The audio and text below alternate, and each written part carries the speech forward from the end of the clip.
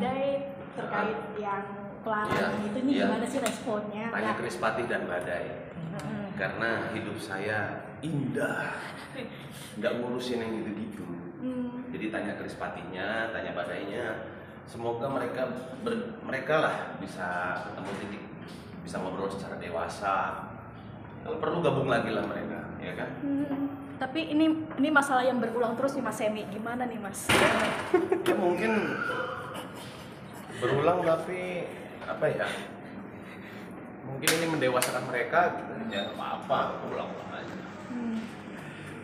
Tapi menginginkan hal yang lebih damai nggak sih untuk Krispati sendiri? ya semoga mereka bisa berdamai aja sih itu doa kita ya bisa terus berkarya gitu Tapi yang kemarin ke, eh, yang di konser di bengkel Mhm. kemarin sendiri ada obrolan nggak sih Mas? Kata kan mereka kan membawakan karya Wah, dari kalau saya dibayar saya nyanyi beres Oke. Nggak ada apa pokoknya sikat terus baik semuanya. Sehat-sehat bang, kak.